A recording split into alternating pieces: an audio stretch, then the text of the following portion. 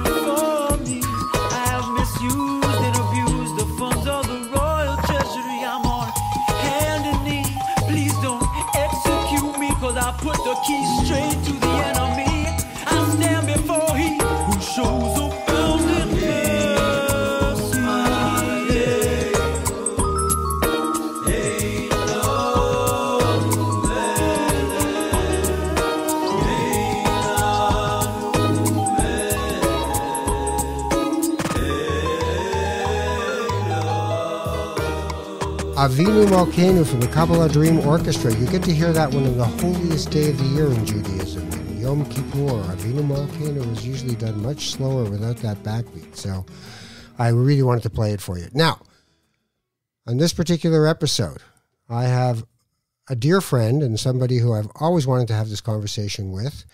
And uh, we're calling this one I Believe in Golf. And it is apparently a religion, and apparently there are disciples and godlike figures and saints and shrines and green jackets and all that kind of stuff. So I figured Mr. Howard Glassman, otherwise known as Humble Howard from Humble and Fred, aka Golf Spiritual Leader. Golf Spiritual Leader. This is what I call myself on my go- on my golf podcast. I refer to myself as GSL golf spiritual leader. Okay, perfect. So, okay, let's get into the religion of golf. First of all, thank you. Uh, I've been a fan of your work since uh, you introduced me on uh, the amateur night in Winnipeg. It was a Wednesday. I was uh, working at Yuck. I think it was Yuk Yuk's in Winnipeg. Yes, and you Yuk came Yuk's. on, and I'd heard of you, but I, at first I was somewhat irritated As I, as was I. As you as, as first that's right. In fact, it was uh, there was a lot of irritation. Well, Howard kept telling For me how long much time, time. I had because Yes. I, I was hosting and he was going to go on, and he kept trying to tell me what to do. Yes, And, I uh, thought, who is this kid? how and why is he he? telling me what to do? yeah. Well, that was a long time ago, and uh, But that festered inside our souls for a long time there was uh, soul, our souls were crying out for something for something different. Yeah, And uh, I've I've really enjoyed, like I've known you. We've known each other for a long time because you know we're Toronto celebrities, Uh, and uh, but I've really enjoyed getting to know you for reals uh, the last couple of years, and Sure and um, such an admirer. I, I, you're such a very fine person, but you're also a very good broadcaster. And and as a guy who's a fan of the game, you know how people can, you know, I I noticed uh, that, and and as a student of that discipline, I'm always impressed by how good you are at it. well, thank you, and uh, right back at you. Uh, I I feel the same things. Now let's. So here's what I would tell you. I, I, I had a conversation with a golf instructor this morning on my other podcast, Swing Thoughts, and I said to him, you know, I have this joke. I, I said to my ex-wife, if I'd ever thought of anything in life as much as I did my golf swing or golf, mm. we'd be way richer, or I would have cured something. Right. There, there's a lot of people, and and you you, you your introduction was perfect because I think of golf in a spiritual way. There, it has all the hallmarks of a religion. It has its deities, it has its acolytes, it has its followers, it has its tenants, it has a, a foundation. There's a cultural zeitgeist. I've played golf in many different parts of the world, and instantly when I meet another golfer, it's like meeting another Scientologist, or it's like meeting another. It's like meeting another mishpucha. Sorry, Mike. That's a some- Family. it's family, Family because we we have such a shared, not only a language. Uh, we there's a, a shared. There's a shared inner struggle. It, golf brings out all these emotions. There's a lot of self worth wrapped up in the game that doesn't happen in other games. So is it a bit of a test of character? Like you know, uh, One of the are one you of the up to competing with yourself? Yeah, well, that's what it is. It's there's a, a lot of uh, one of the sayings in golf that I, I like is that golf doesn't build character, reveals character. I think it does both, but within a very short period of time. When I meet another golfer, I just came back from five days. I was hosting a ClubLink tournament in Florida, and I played with some older fellas. One was 70, one was 65, another one was 35. But all four of us played five rounds of golf together. We were on a little bit of a team. And instantly, even though I didn't know them very well, we have a shared, such a commonality. It's like when you meet another, you know, somebody of your religion. Right. Wherever it is in the world, there's a, uh, what is that? There's a word, bashert. Is that the word? Yes, the kindred spirit. Kindred spirit. And there's a bashert around golf. And within a few holes, we're comrades in arms and we're out struggling against the forces that conspire to, again, and it really is that. And, and I'll tell you, you know, there's a phrase that the kids use about geeking out about something, but I can geek out about golf for days. Uh, one night we were at dinner, there's 12 men, and, uh, you know, these guys are drinking beer. There's a hockey game, there's a basketball game. And there was a couple guys asking me sort of some deep questions. And all of a sudden the table goes quiet, and I found myself sort of, you know, holding court in a way because What were they asking? well, just about you know things like how do you get over a bad shot? Or they, here's the thing: men especially will go home after a round of golf and feel bad about themselves because their performance that day didn't measure up. They put they put all of their heart and soul into this discipline, and they just can't seem to solve it. But in a way, it's sort of what attracts me to it is it's the unsolvable puzzle. Mm.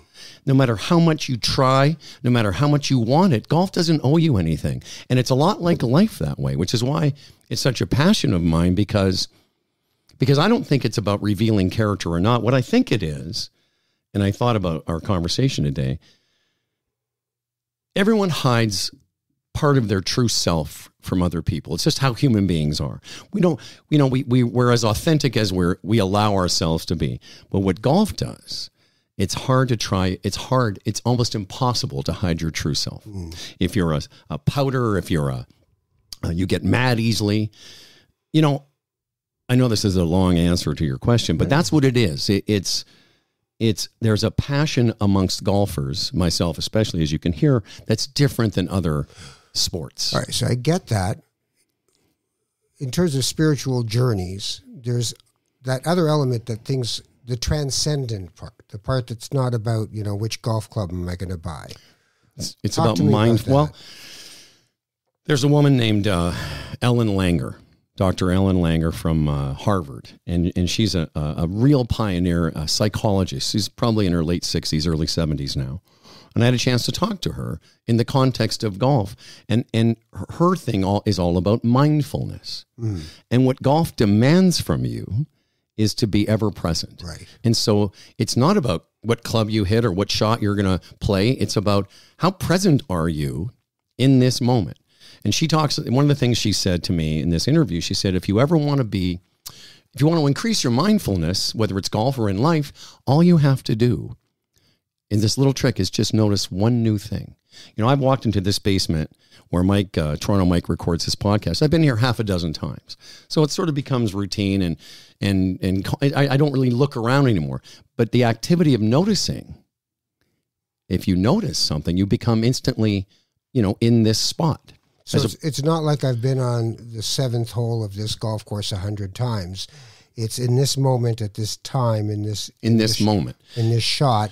Where am I? and and you know there's a there's a there's a thing about men especially that that, have, that we have generally trouble expressing ourselves at an emotional level but golf it's funny i've seen grown men act like i was like children i was the worst you know in my 30s i was a highly skilled player with a horrible attitude and I, I was wondering why can't i ever break through and then i read a book by a guy named dr bob rotella uh, sports psychologist. First one I ever read, and it's called "Golf is Not a Game of Perfect."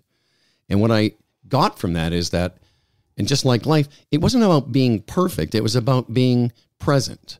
And so that, for the last twenty-five years, has been what I've focused on in terms of the game of golf and how I can take lessons from it and apply it to the rest of my life. Okay, so that first half of your life, where you say you were you had all the skills, but you had a horrible attitude. The worst I ever met. Tell me, what does that look like having a horrible attitude? The reason I hesitate is I have so many examples of, of honestly, whether like we call it, you know, being a golf powder, you know, it's like you have a bad shot and then the day is over. I'll give you a, a quick example from a, a buddy I play with once in a while. And he's one of those people that it will start off okay, you know, make a couple of pars, do well in the first few holes. But as soon as he has um, a little bit of chaos, a little bit of pressure, this is what he always says. He goes, well, there goes the day. And I said to him, how do you know that the next hole won't be the beginning of the best stretch that you've ever played. But if you close yourself to that possibility, it's a guarantee it won't happen. And those are the things that happen in this silly game that come up that you can see that have a parallel. We all know people like that. We all know people that say, "Oh man, I want to lose weight. I want to quit smoking. I want to quit drinking." And as soon as there's a little bit of, you know, a little bump, they stop. I go, "Oh, I gave it a shot." But golf kind of helps you learn that as long as you keep trying, you never know something great will happen. And so for me in my 30s, I was a very high. I, I've- I've been playing since I was a kid. My dad was, you know, that's another thing about the game. It's a real, there's a real father, there's a real family aspect. Right. In my case, my dad passed away 13 years ago. Almost from the time I was 17 till he died, literally the week of his death, we were still having conversations about the golf swing and the golf game. It, it's what attached me to him in, in such a, excuse me, and in such a, um, well, imagine the commonality of the game and then having your father, the man who taught you. Yeah. My dad was uh, in the hospital a few days before he died, and we were literally talking about his backswing. And I said to him, you know, you, sh- you how, how you still care? But he did. He was like, I'm just taking it back a little too quickly. Are you? Are you really, Lou? so I was the worst. I, I would give up. I would pout. I would sulk. I'd be immature. I'd throw clubs. I'd break clubs. Right, right. And uh, You're like the tennis guy who throws just just freak out all the time Right. and um and I just couldn't get over it. Like a lot of things in my life, in my 30s, 40s, early 40s, I just couldn't figure out. I knew there was something I was missing, and what I was missing was the spiritual part of it Well, so me. so there's the interesting thing in the spiritual journey. Often the issue is ego.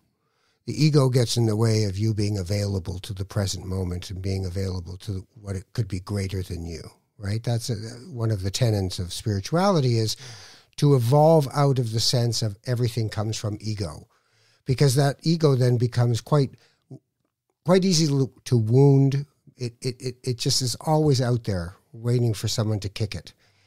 But if you start to take within you that idea of presence and the idea of generosity of And, spirit and gratitude. right? The gratitude that you're that, and, and the generosity is that moment you had with that guy. It's like, how do you know? How do you know that the next hole is not going to be the beginning of a great stretch of golf for you?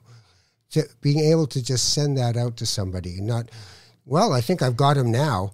He's in his own head, and I think I'm going to win this game. So there, there are spiritual aspects. The other part is interesting. You brought up your dad because I'm thinking to myself, a, a big part of any religious life is community. You know, I had a guy, he was uh, the president of the synagogue uh, the year before, and I was running a workshop on spiritual direction. And he said, You know, I don't believe in God. Uh, and prayer doesn't mean a thing to me. I have no idea what I'm doing when I'm standing up doing that stuff. And I said, Joel, you were the president of the synagogue. You were here every Saturday. Like, why? And he said, Ralph, I'm not being glib. I believe in Kiddush. I believe in the meal after the synagogue service is over on a Saturday because we all get to hang out together and I get to see people's kids grow up and I get to be part of family. Does golf have family? Uh, yeah, excuse me, a hundred percent. You know, it, there's a real, even if it's not your actual family, there's a real uh, link that golfers have because the game demands that you are are comfortable with struggle. You know, the first day, the first uh, line of Buddhism, I believe, is life is struggle. Life's life's hard. Life is suffering. Life is suffering. Of course, the Jews would know that. Life is suffering. Once you get comfortable with We that, just say, Oi. That's- that's right. We have so, Jews have so many noises for suffering. yeah. So golf is like that. And in the in my early stages, I didn't, I couldn't accept it because it's also attracts perfectionists. Yeah. And it's the worst when you when you want to perfect it, but in actual fact, there is no perfecting it. You know, one of the, the greatest players that Canada ever produced was a guy named George Knudson, and one of the things he's famous for saying is you have to give up control to gain control, and most of us can't do that. One of the reasons, you know, you talk about ego. How do we look? And you know, what's this guy think of me? And what does she think of my? Well, what if I if I make a double bogey? Is am I a bad person? If I make a birdie, am I a good person? And it's all wrapped up in that. You know, one of the things that golfers struggle with is they call you know the first tee jitters and it's all ego like I, I have to tee off in front of other people Right. what will they think and i used to tell people no one is watching you you know why because they're thinking about their shot Yeah, but you know what? Here's something from our tradition. Uh, you need 10 people to start a service, a minyan, right? Right. I always notice I walk my dog in Hamilton through a place that has a golf public golf course in it, right in the middle of the trail, the Chedoke Trail. And there's four people. One who's going to swing and three who are watching. And without bearing those- witness Right, bearing witness. So if they're not there, do you feel completely different? When you go out to just drive balls by yourself, do you feel completely different? um well there's a couple things there you know you, you don't need four people uh, unlike a you know uh, unlike uh, a jewish service where you need 10 bar mitzvah boys Right. are we still doing that by the way Uh, it's egalitarian and it's not. Uh, yeah, have ten people. 'cause and, I and now, is it 10 'cause when I was a boy- the conversation now is whether or not you can have people virtually join you and and, And- and still count? have them part of I love that. minyan. Yeah, no, we're moving on. So uh, yeah, golf. You know, you can. The great thing about the game for me is that you can still be challenged by it by yourself playing it. There's a, a sort of a. I find it a.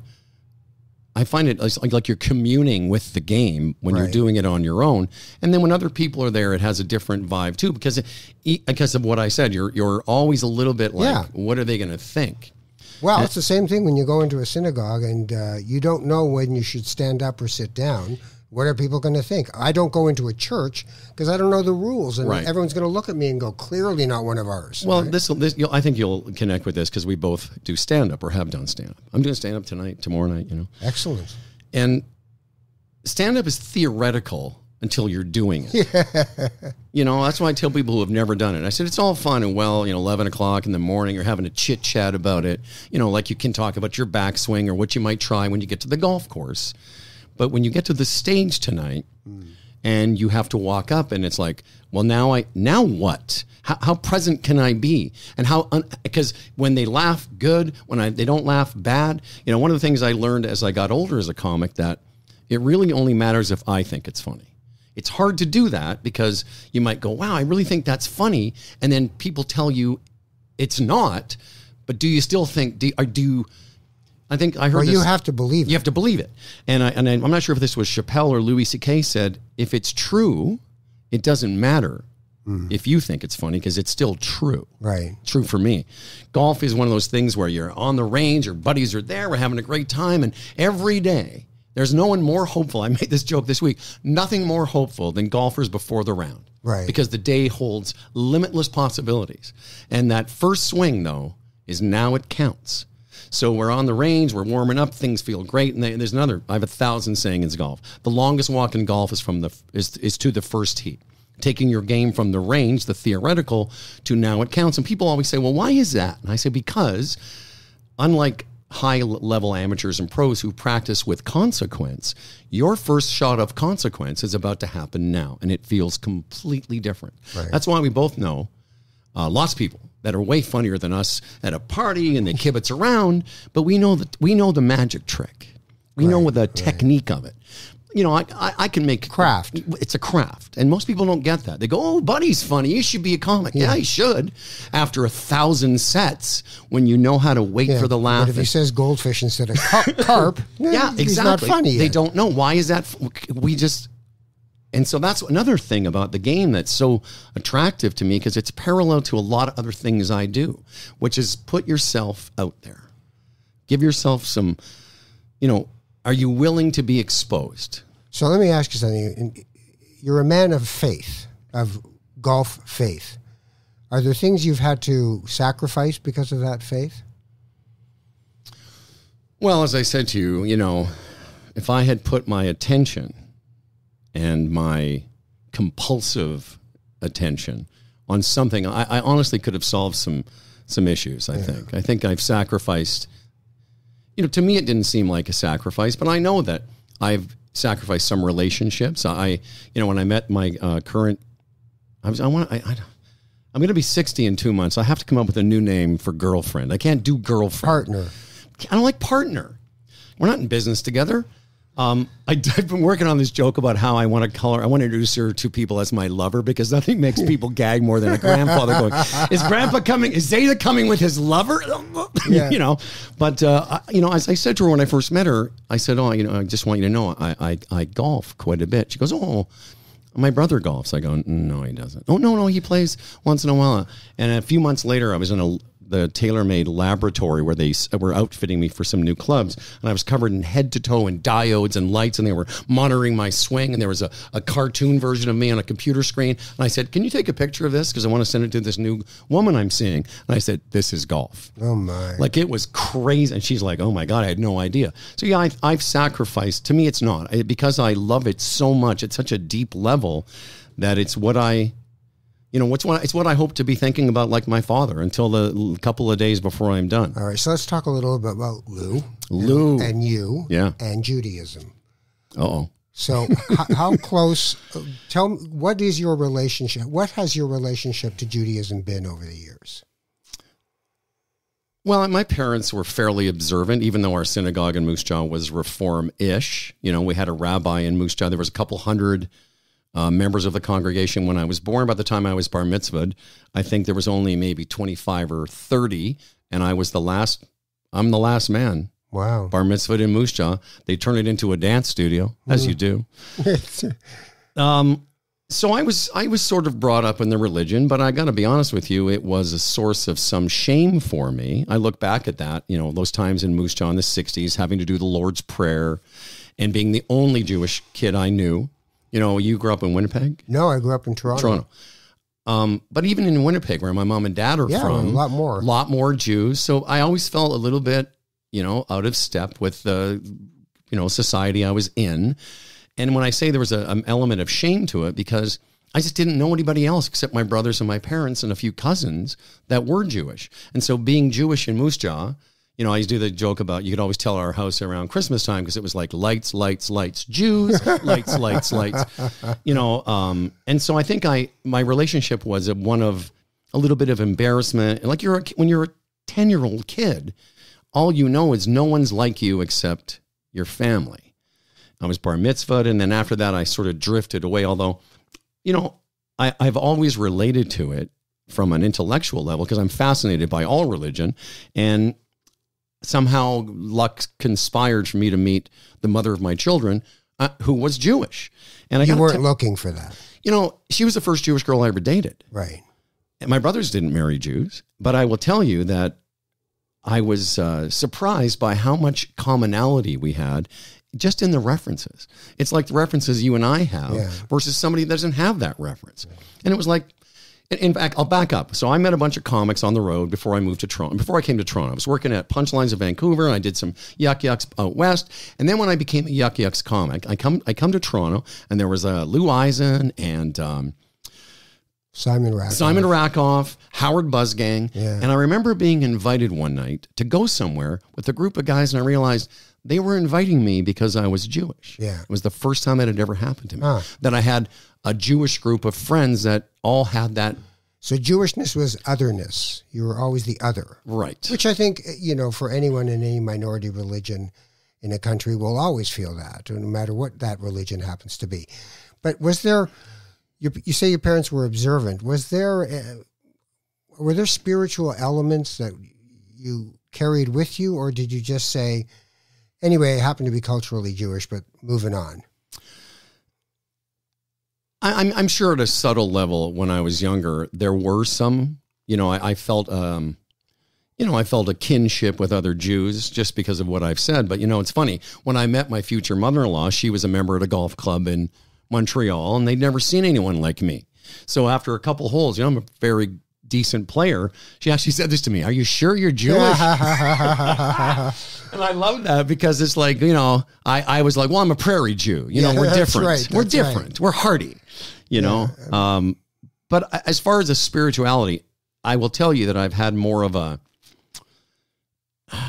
more of a connection with it as I've gotten older. You and I have had these conversations. There's something about it.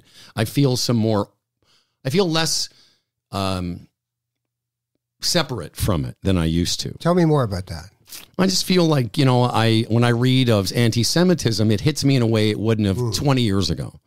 You know, I talk about it on the Humble and Fred show sometimes. I'm like, you know, if if there were any other group that was, you know, the I, we've had this conversation where you know the, the leading hate crimes in the city of Toronto in 2019 were against Jews, yeah. and I said to Fred, I said, you know, any other group, you you would you would never you that's all that you would talk about, but for some reason, and it's weird. Like, I think there's a, a level of anti Semitism that's just, you know, sort of accepted in society in a way that anti anything else wouldn't be accepted. So I, I find myself connecting to it in a way I, I never used to. So that's the cultural part of being as far as the yeah. identity. But yeah. what about the spiritual part of it? Like, I, I sometimes when I'm with you, I feel your yearning. Like your golf is your obsession your golf is such a big part of your life and and your talent as a broadcaster, you know, allows you to continue to do what you're doing at a very high level.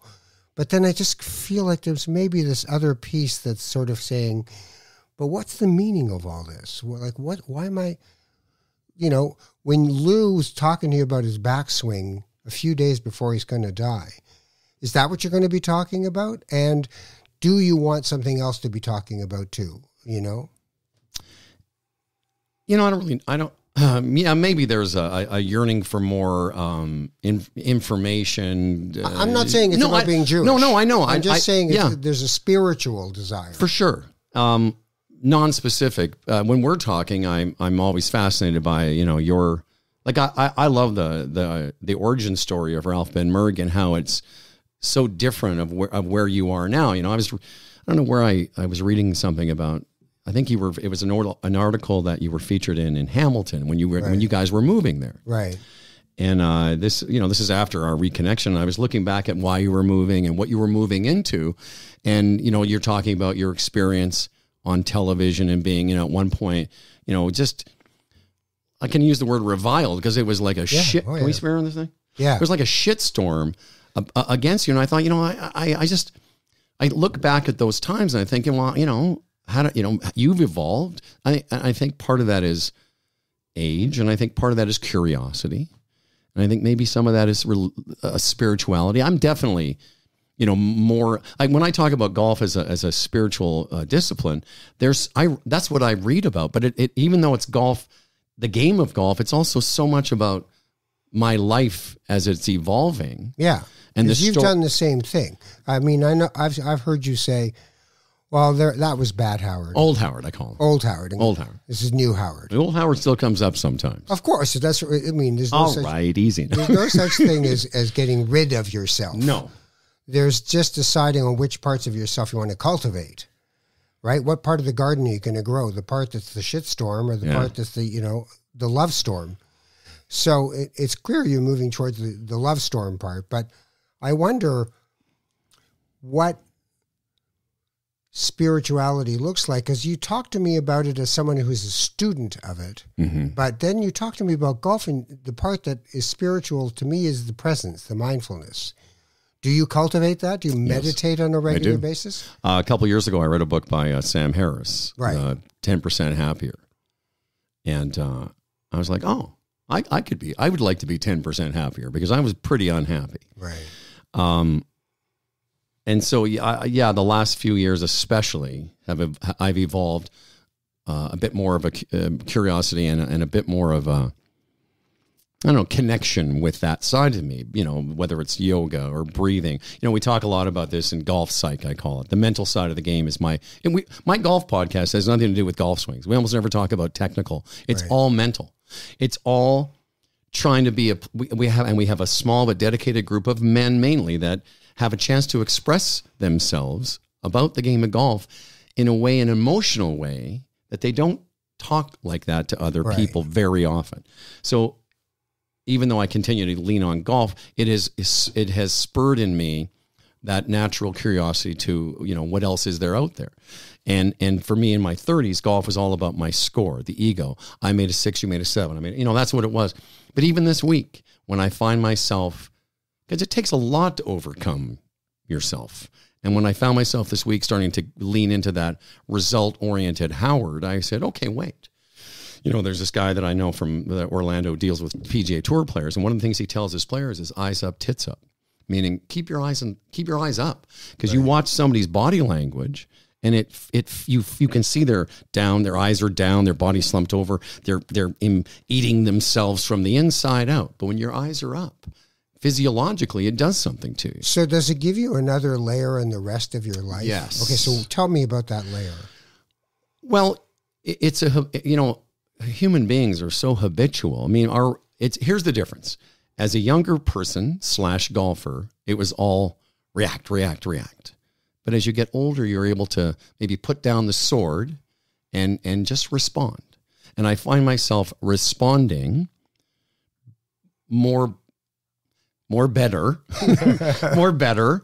And when I do react, I go and clean the mess up Mm. you know, because yeah, I'll react from time to time and because say you have a bit of a distance from yourself because I can look back and go, okay, well, that's a little old Howard that showed up, but I'll I'll clean it up and Right. I'll I'll continue on. And whereas, you know, I used to I used to say, you know, well, if I miss a putt, I'm a I'm a bad person. I'm, I'm seriously. Right, I'd go, I missed this. right. I must be shit at putting. right And what I've learned through a lot of therapy is that it, sometimes good putters miss putts. Right. You know, it, it doesn't mean you're bad at putting. It just means whatever you just did to cause the ball to miss, it doesn't, it's not, I, I used to take it so personally. I used to take everything so personally. And so what has happened Been is there. that golf has taught me to take it a little less personally. You know, it's it, one of the things that you know comes to mind when you talk about this is where there was a, a point where you crossed that bridge. To me, you know, I, I knew you as as old Howard, uh, and when I was old Ralph, and you know, when I see you now, we're a completely different conversation. Now, is part of that age? You know, uh, if you're late 50s golfer, you're not expecting the same thing out of yourself, or uh, therefore there's more forgiveness? Or is it really just the process itself keeps having to force you to come to terms with yourself? Which one? That's it. That is very, very good. That last part, the process. And that's what we talk a lot about in the mental side of the game. If you can love the process and leave the outcome, Right. And and to be a better person slash player for me, I can speak for other people, is I need to focus on the process every day. I need to, you know, like I'm going on stage tonight, and one of the things I think I told you this once, where, whereas I used to go on stage and I'm like, you know, watch me, I'm going to make you laugh. And now one of the things I say to myself as I'm being introduced is, remember, this isn't about you. Hmm. This experience is about them. Right. And if you're here for them, Here. here for them, then it'll happen. Something, you know, the outcome. Listen, you and I, we just talk funny, and like Groucho said, if I keep talking long enough, something funny yeah, will exactly. come. out. Exactly. But as you walk onto that stage, when I was in my 30s, I met you in my 20s. Actually, um, I was just going up there for me. Watch how watch these cool things that I know. And I And killed. I super killed. Exactly. Yeah, yeah, yeah. And now sometimes, you know, I, I make eye contact on stage in a different way than I used Yeah. to. Yeah. I make it more like um like when I look at somebody and say and, I, and I'll do this sometimes when I walk up. I'll say, you know, hey, how you? I, how are you? Are people being nice to you? Because I just want, I want to get, I want them to know that I'm a nice guy. Right. Because sometimes, you know, I used to come on, and I'm like, I don't look like a nice guy. I don't look like I think I do. Right. Um, remember Jim McAleese? Sure. McCheese. Just such a great guy. Anyway, I um, He's teaching. he- yeah, and so what I, you know, it's funny. I reached out to him. I said, Jim, can I send you a set? I just want you to see what you think. I wanted some technical Yeah. adjustments. And so I hadn't watched that set in a while. And I looked at it and I'm like, there are moments there where you can tell I'm really enjoying myself. And there are moments there where uh, I'm I'm in my head. And so the goal I have as a comic and, and as a golfer and as hopefully one day is to be less in my head and more you know, Available. available. And and people vibe with me differently than they used to. They just do. So here's a spiritual element that I think might be part of, you know, your backswing. There's the concept of of uh, a non-duality that there's no you outside of me. There's no golf club outside of hand. There's just everything is is is unified. It's a so there's a new book by Michael Pollan called uh, Change Your Mind, and he he gets into mushrooms and acid and he never did this stuff when he was younger now he's like 60 and he, he was researching this and he was really trying to figure things out. And one of the things that psychoactive drugs do for people is they move your ego out of the way and you see the unity of everything. You get the cosmic joke you know the doors of perception aldous huxley all that stuff that happened back then. Is real in a sports uh, environment. It's real in every environment that this is you in something, not I am Howard and that is the golf course and we are going to have a fight. Right? It's I am so when you move that to an idea of what some people like my version of what God is is not a noun. It's not a thing, not a guy in a white suit, you know, you know, with a beard. He's not Santa Claus. So for me it's a verb it's an active flow of constant creative pulsing energy that makes us have children that makes stars explode and then reinvent themselves from the energy of the dying star into a new star. It's all that stuff. And it's like you're saying if you're really playing you're in a flow of that game. If you're not you can constantly feel the friction and the resistance. Does that make any sense Oh, it's all, all of it's it's it's the we we a flow is another you know sort of current sports psychology term. Getting it get used to be getting into the zone, Right, But it's being right. in flow, and flow talks about process, and process gives you flow. You can't you can't you know I'm going to be in the flow today. It just it has to happen from a place of not trying, Right. from a place of non-resistance. You know, and again, I was with sixty other you know, middle aged, mostly white, you know, Christians or whatever they are, you know, the non the goyim. And and you can see the way some people in their 50s, 60s, even into their 70s are still at war with the world. They're just always Yeah. itching for a fight and and the airport's a, a place of constant you know, whatever. And I and I'm like, that's just a story. And I and I learned that through my through the reading of golf and and the things and I'm not talking I, again the things I read are are books by people who talk about mindfulness and being present and breathing and all that's that's what I'm interested in and I can see it in the world that what you said about has the has the pursuit of this helped me in the in the real world well I'm at the airport last night everyone's you know pissed off and when is the WestJet person going to get there and this thing isn't open and I'm just kind of like I'm here. And and everyone's um, uh, sort of scowling. And I get up to the counter. This is true. And I'd already checked one bag online. And I just decided, I thought, well, I've already checked it. For 30 bucks, I'll check this one too. So I won't struggle with the carry on. I said to the young woman, I said, um, how much for, uh, you know, how much to check one more bag? She goes, don't worry about it. And the guy beside me is like, how does that happen to you? I said, because, because I'm not scowling at her. Yeah. I'm not I'm not here pissed off. I'm in a mode of hello. Here's how I start the conversation. Hello, nice person, and that always takes people. It disarms people Yeah. because you can't argue with that. I'm not calling. I'm, I'm just saying. I'm just seeing that you. I'm seeing you in a positive way. So right away, you've just kind of relax around me. Whereas before, I didn't know that. I, I thought I was charming for my own sake. Yeah. Do you know what I mean? Like, there's Yeah, a difference between kibitzing, or as my girlfriend calls it, kibbutzing. Oops. It's my favorite. It's like hummus. Yeah. It's not hummus, it's hummus. I know. She's like, I'm just kibbutzing around. I go, Are you? Even though her name is Rachel, she's not Jewish, Yeah. but she wants to be. She wants to be. So I said to her, The difference is I used to be like, Hey, watch me con these people. Or I joke with the girl at the cash or the guy at the restaurant.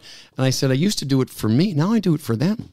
I literally want to have an interaction with them Right. that stops it from just being another rote situation where everyone's pissed and everyone's so Well, it's resistance to being eh, to isness. Like if you're in a, a traffic jam, right. You have to accept that you are the traffic jam. It wouldn't be happening without you. It really needs your attendance to be a traffic jam, as opposed to uh, I'm going in the HOV lane and hope I don't get busted because I don't deserve to be with these people. I deserve to be ahead of these people. I don't deserve to lose this golf game. I deserve to be winning this golf game. You know, it's that entitlement that can get in your way. I, I learned a couple years ago. I you know I was ta- thinking about you know the effort I put into golf, and it was bugging me. That's Ralph coughing. That's all right. I was thinking about you know I'm putting all this effort and I deserve more than I'm getting out of it, and then I had this thought after reading uh, the Four Agreements. Right. which I, I've I've written a series of essays just for myself uh, as sort of a parody of that called the Four Agreements, F O R E, Yeah, right, right. and and I've thought about it in a way that it's it's true. Golf doesn't owe me anything. All all it demands is that you do your best. It's almost so it's almost childlike. You do your best, and that's all. Like you know, that's one of the disciplines. Just do your best. It's interesting because in religion, God doesn't owe you anything. You see, those who petition But the thing for is, prayer nobody is owes that traffic jam. Right, doesn't Those owe people don't. anything. No one owes you anything. The people at the WestJet counter don't, owe you don't that anything. that and and and it was interesting because I was the last person to check in and she gave me the bags for free. You know, I wasn't Right. but I wasn't doing it and you'll get this. I wasn't schnorring her. Yeah, yeah. I wasn't trying to con her. I was just there for her, just for a funny little moment. I find some of my best uh, uh, presence moments are in airports because, uh, first of all, uh, when you listen to Brian Eno's music for airports, if they just played that in every airport, everybody would just chill out. But the anxiety, the tension, the I'm not going to get, the moment that they start to board a flight where there's still 75% of the people who aren't ready to be boarded are standing there. And I'm like, you're rushing to get into a cramped bus with wings? Just be here. Let's relax. Let me ask you about Rachel wants to be Jewish. Do you want, is it important for you that she become Jewish? no. No. So uh, uh, when you think of your own Judaism, do you just think, and the buck stops here? I, I'm not, I, I don't care if my kids do it. I don't care if my partner do it, does it. Um, you know, I, I don't I, I'm not it anymore. I don't really, you know, I, I think about Judaism m- more recently, culturally, um, than I do religiously. Although that being said, we still, my ex-wife and I are still best friends. We still get the get together for the Jewish holidays. I'm still invited to her mother's for Seder. I'm So still, you have that anchor. I have it. You know, like But I'm you there- don't do synagogue shopping. You don't look around and go, "Uh, maybe I can try this one. Uh, I was in a synagogue recently. I was telling I was to tell you about doing stand up in a synagogue. I've done a few shows in synagogues, which is weird because you you know like that. There's a perfect example about my connection to Judaism. Is I walked out in front of 250 people, supposed to do 20 minutes, working with a very funny comic from LA named Kathy Ladman. Do you remember her? Yeah, was like you, you'd know her. So she's like our age Oh, I think so. it was on Yeah, curb, yeah, all yeah, that stuff. Very funny woman. But I got to get up. I got to do 20 minutes. So I'm thinking about what to do. And I, I got up and for the first few minutes, I just have all these references. At one point, I was doing Dayenu. The next thing, and I was doing something about the four questions and on and on in a way that I could never do. I didn't have to explain any of those references. At one point, I just yelled "Maror" and they laughed. you know, Tequila. I was a Maror, and and and I uh, I was like, wow, this is a weird experience. Again, having said I've felt always distant and out. Of, Yeah. and all of a sudden, here I'm in a room full of people and an older crowd too. Um, couple hundred and fifty people, some with kippas, some not, and um, I just it was a it was a fun it was an interesting feeling for me. I thought, you know, this is a pretty good place. Hmm. So you going to do anything about that? What do you? What do you? I'm asking. I don't know. I don't know. Maybe one day. You're I'll go- uncomfortable right No, now. no, no. I- you Because I, are. don't have an answer for you. Well, oh, that's interesting too. I don't As know opposed to, oh no, no, no, or No. yeah, absolutely. It's somewhere. in the- Yeah, I'm, so there's some rumination going on Yeah. in there. yeah. I think about it. all- My youngest uh, daughter has uh, somehow discovered Judaism in a weird way. You know, she she's the one that drives the make. We want to have seder. She wants to. You know, we our our family usually is. Uh, the blessing, uh, the bread, the wine, Right. a couple of questions, Dayenu, and all let's eat. This last one, you know, we had to the full roar. not the full, but more than we used to when we were when they were kids. Yeah. So I thought it was interesting.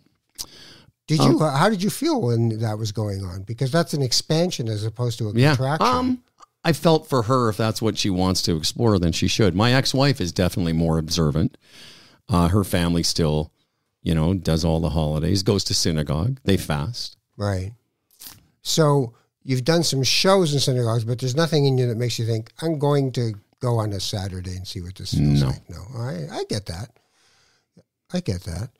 So when it comes to the bigger questions as we get older, you know, where where are we going? Why are we here? What what the hell just happened? It's still, and I'm not saying this like I don't believe it. It, it seems to me that golf has given you a lot of really good answers. It's really made you have to come to terms Yeah. with yourself and really become. Do I want to be that guy? Yep. Do I want to be the next guy? You know, it was it was uh it was the exploration of trying to curb my own it was at first I thought it was about getting better as a player, Mm. but it was about getting better as a person. I know this sounds hokey, but I used to go golfing with people, and if I was playing well, it would be a pleasant experience for them. If I wasn't, it would be a very unpleasant, awkward experience. I literally have walked off golf courses many, many times. When I was in my 30s, I would be, we'd be playing, all of a sudden, you know, screw this, I'm going home. And uh, it really was that first book of many, many, many books that got me to think that maybe there was a different way for me to behave. And maybe, and I had other people, I've had people say this to me, you know, hey, don't, like, I was being a dick one day playing golf, and this older guy, uh, probably in my late 30s, he might have been in his 50s, and he liked me. So he pulled me aside and said, you know, just remember, this isn't about you today because we were hosting some client, potential clients. He said, you remember, this is about them. I was like, what? This could be about some. This is about somebody other than what I. Just I got to replace a divot. I'm busy. exactly. It's like this is about somebody beside me, and so I think in a way, like Who the This- fuck? what? But but so my spirituality, even though it seems odd, has is rooted in this game that's 450 years old. And as you began in the introduction, you know, it has all of the hallmarks. And it's interesting that you started that because I started thinking about you a couple days ago, and I thought he'll find that, he'll get that, hmm. and and you did without even me bringing it up. Hmm. That it has all the trappings or the dis- hmm. distinguishing marks of religion, especially for me. So who, when you when you think of who are the um, the deities of, of your particular religion? Well, it starts with Tom Morris, who was uh, one of the original Scottish. He's the one of him, old Tom and young Tom. Uh, these are some of the late 1800s. They uh, started St. Andrews, or they were there at the beginning of the Royal and Ancient. But the big ones in the modern era Bobby Jones, Byron Nelson, Ben Hogan. And that was sort of the the beginning of the professional game. And then Arnold Palmer is, you know, on the Mount Rushmore would be Palmer, and Nicklaus, and then this kid, Tiger Woods, who created such a, a paradigm shift in the game to basically it, it he took it from where it was Nicklaus and Palmer and those guys, Gary Player, Lee Trevino, and he he he sort of ushered in the the modern era that we're in now. Um, Tell, there, tell me his journey for you when you watch somebody like that, because I, I'm fascinated. well, by he's the, he's life. Jesus, by the way. That's what That's I call I him. I, was call him Black say. Jesus. Yeah, I have been calling him that for years because he was the anointed one. No, no, no one ever thought there'd be anyone uh, to replace Jack Nicklaus, and then all of a sudden, this guy came along, and you know, there's a famous uh, quote: Nicklaus.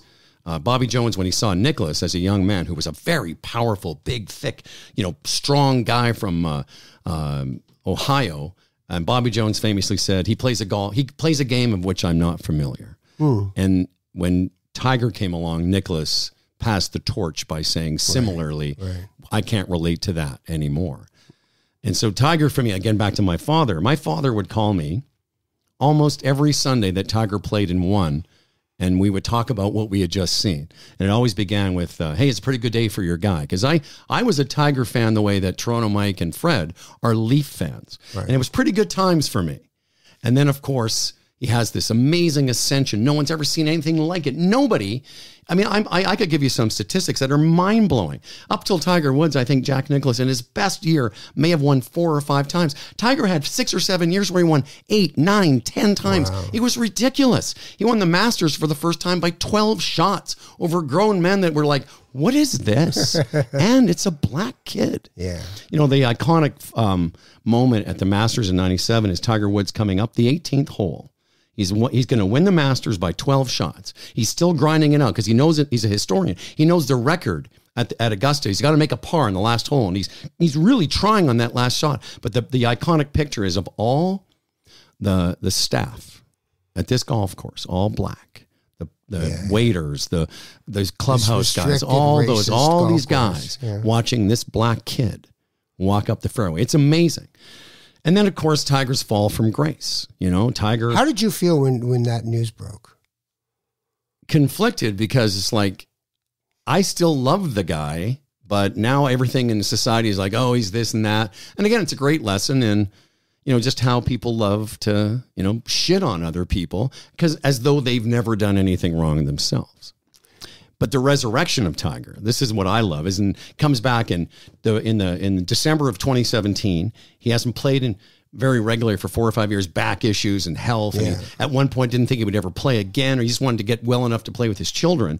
In December of 2017, he is Oh, another thing. He was ranked. Just Greg Norman was uh, the the man before Tiger Woods. He was number one in the world for a total of about three hundred or so weeks.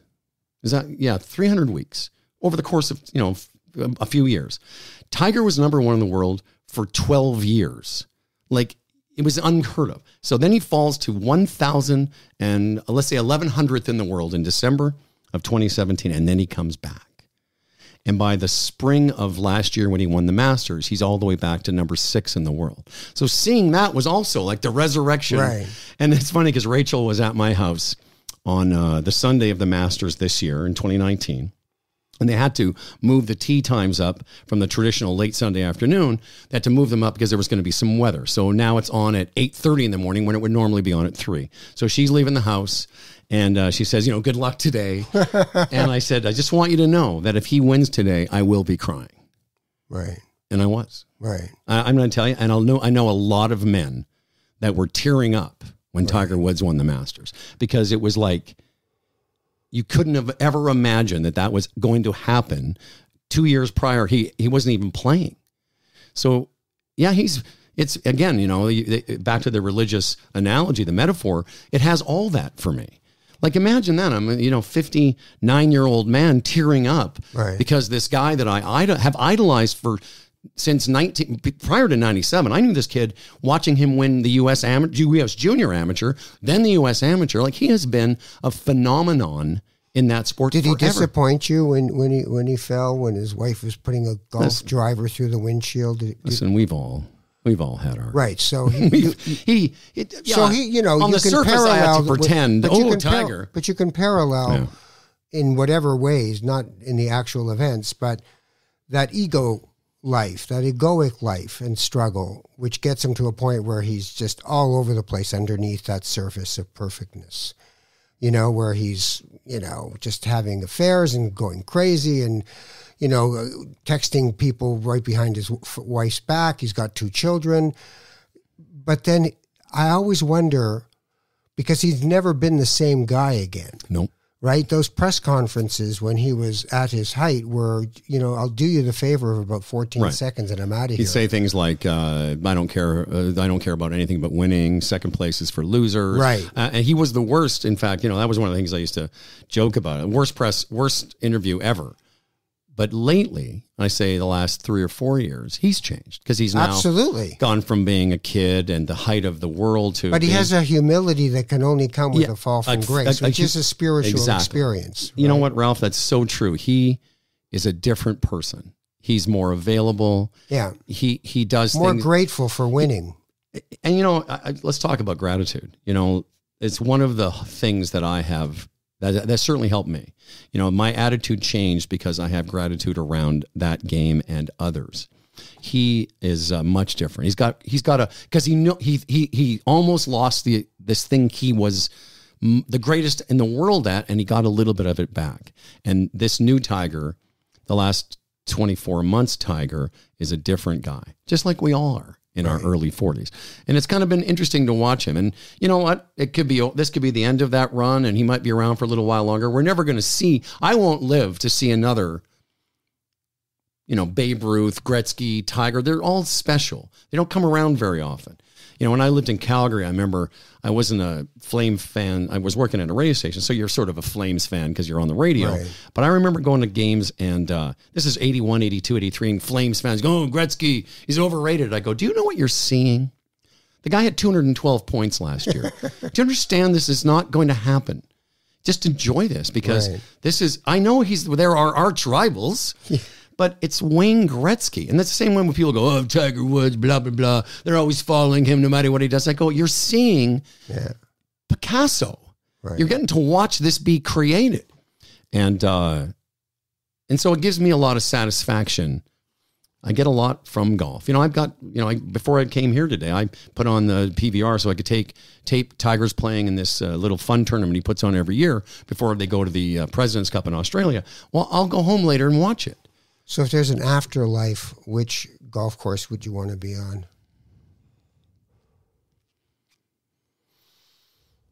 Well, I think the uh, you know sort of the standard golfer answer would be something like Pebble Beach or St. Andrews. But you know, it's weird. The golf course I grew up on in Moose Jaw. Hmm. You know, it's kind of like where it began, where I fell in love with it. And even though it's a lot in much better shape than it was when I was a kid, where it was just basically some brownish dirt and uh you know not in but it, it to me it's it's it's i will always remember that because i remember looking at my dad's and his friends and then i worked there as a kid i worked in the pro shop and i it's where i learned to i learned a little bit about how to act with people Right. and my dad came as the, I was cleaning clubs and I wasn't making very much money, but I got to play for free. And my father came off the golf course one day and I was eating a plate of fries. And he knew I don't have any money. He said, "Where'd you get that from?" I said, "Well, you know, you know Gladys or whatever gave to me." He goes, "Really?" I said, "Yeah." She just because I, could I, but I because I was nice to her, and I learned that if you were nice to people, they'll give you stuff. Right. You know, sometimes again, and when I was younger, I did it because I went, I was like uh, the music man. What's in it I could me? con it. Yeah. I was. I learned that you could con people if you were kind of charming to them, and that's how I played the game for a long time. And then I switched at some point to going, well, I want to be like this, and if you if it's pleasant for you, then great, we all win. Right. Because it's it's like I do this uh, thing when I sometimes when I'm emceeing, I'll say, you know, instead of just saying tip your waitress, I say, listen, how many people? I don't know if anyone in this room has ever worked in the service industry, but I'll tell you, serving people in a comedy club isn't easy. And let's give our staff a round of applause. And then I always say, listen, if you're with somebody and they're ever shitty to waiters or waitresses or sort of people, you can't be their friend. And I say that always resonates with people that go, oh yeah, Yeah, yeah. because we've all been with people that treat those people like Well, shit. you're taking the side of the of the person who's you know going to get the tip, and it's it's the kind of empathy that's required in a spiritual life. You you have to have empathy and compassion, and you have to be able to see that you are part of everything, and everything is affected by what you do. So when Howard gets up there and does stand up, and he's just killing then that's great for Howard. But i if you're connecting to the person, like you said, where you actually give my contact, then you have uh, then you have congregation. You know, I, I think I. I think I shared this once when you and I were having breakfast, and I said, you know, I've started saying this sometimes at the end of the night, just before I say goodnight. I read the announcements. And this is downtown at Yuk Yuk's, 300 people.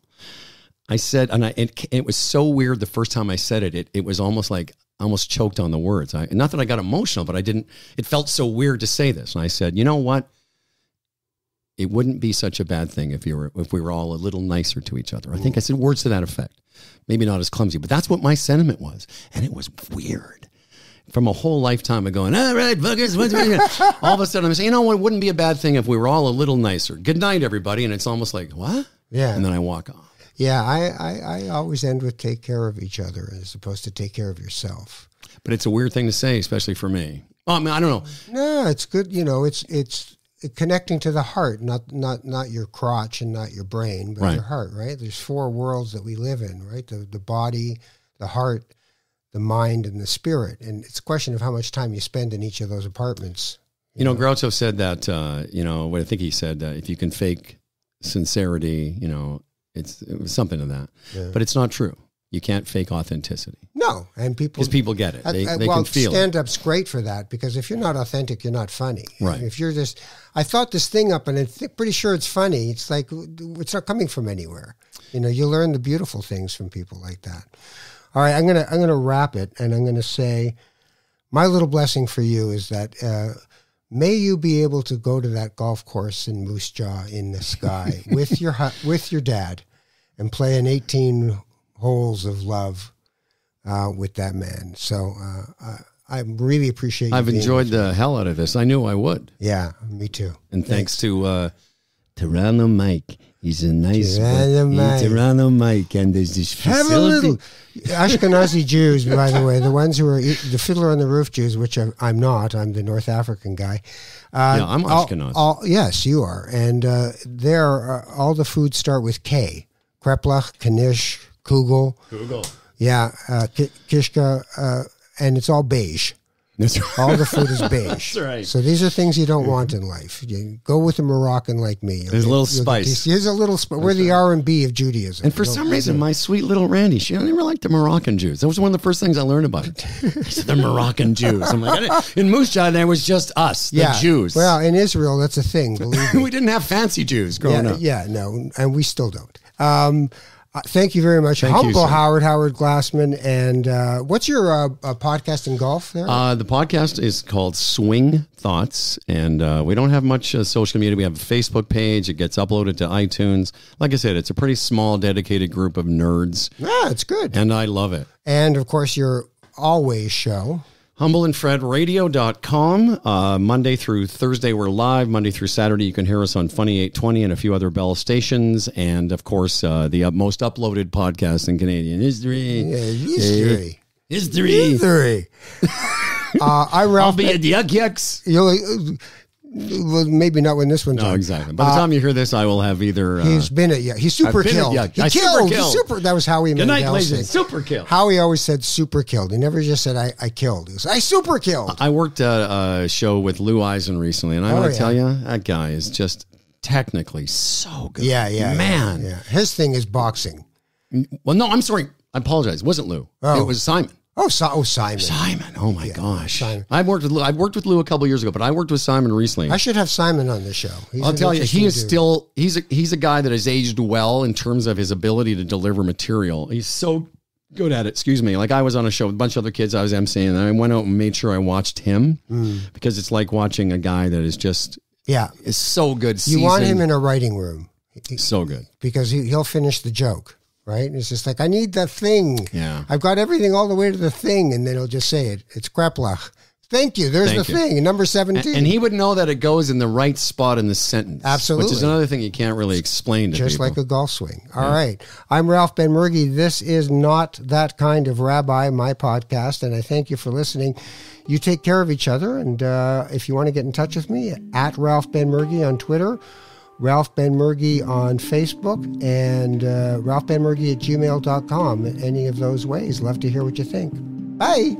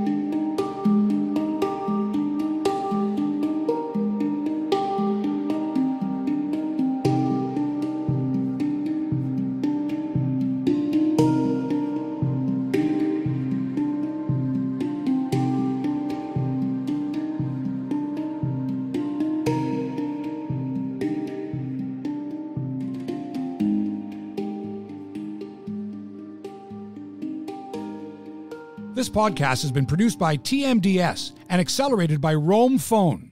Roam Phone brings you the most reliable virtual phone service to run your business and protect your home number from unwanted calls. Visit roamphone.ca to get started.